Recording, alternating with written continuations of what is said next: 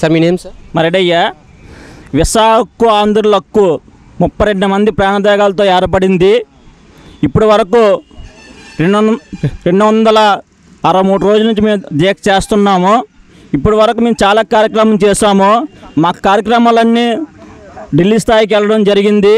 అలాగే జనసేన అధినేత శ్రీ పవన్ కళ్యాణ్ గారు రావడంతో మా ఉద్యమం మరింత ఊపునిచ్చి మా పోరాటానికి ఇంకా పవన్ కళ్యాణ్ గారు మాకు ఇంకా సపోర్ట్గా నిలిచారు. భవిష్యత్తులో కూడా పవన్ కళ్యాణ్ గారు మా- ఇంకా సపోర్ట్గా నిలవాలని కోరుకుంటున్నాము. ఏదైనా కేంద్ర ప్రభుత్వం వెనక్కి వెళ్ళే వరకు మా ఉద్యమం విశాఖ ఉక్కు ఆంధ్రలో కా- అనే నినాదంతో ఉద్యమం కొనసాగుతుందని కోరుకుంటున్నాను. పవన్ కళ్యాణ్ నిర్ణయంతో కేంద్రం వెనక్కి తగ్గే అవకాశం ఉందంటారా? ఖచ్చితంగా కేంద్ర ప్రభుత్వం ఖచ్చితంగా వెనక్కి వెల్ వెళ్తుంది. పవన్ కళ్యాణ్ గారు ఇప్పటికే ఇక్కడ ఉన్న స్థానిక నాయకులు జనసేన నాయకులు ఇప్పటికే మాకు మద్దతుగా వచ్చి చాలాసార్లు ఈ టెంట్లో మాట్లాడారు. పవన్ కళ్యాణ్ గారు ప్రత్యేకంగా ఈ పోరాటంలో వచ్చి పాల్గొన్నారు.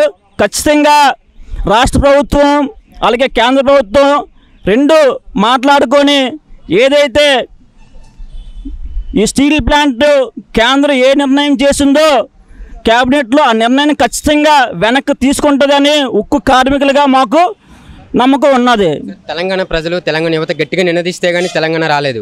అట్లాంటిది ఆంధ్ర యువత ఎందుకు ప్రశ్నించడం లేదు? వాళ్ళు నిలబడితే నేను ప్రాణ త్యాగానికైనా సిద్ధం అని పవన్ కళ్యాణ్ నిన్న సభలో తెలియజేశారు. దీనిపై మీ స్పందన ఏంటి? అంటే ఆంధ్ర యువత ఎక్కువగా నినదించట్లేదు.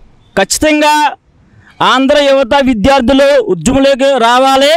ఏదైతే ఈరోజు నవంబర్ ఒకటి ఆ రోజు విశాఖ ఉక్కు ఆంధ్రుల హక్కు ఈ స్టీల్ ప్లాంట్ ఇక్కడ ఏర్పడాలని నవంబర్ ఒకటిన కాల్పులు జరిగి ఈ రోజుకి యాభై సంవత్సరాలు అవుతుంది. ఈరోజు ఇదే బేస్ మీద సిటీలోనే మొత్తం ఆల్ ఇండియా సంఘాలుగా ఉన్న ఎస్ఎఫ్ఐ కానీ ఏఎస్ఎఫ్ఐ కానీ ఒక భారీ ర్యాలీ చేస్తున్నాయి. ఖచ్చితంగా విద్యార్థి సంఘాలు కూడా దీ- భాగస్వామ్యం అవ్వాలి.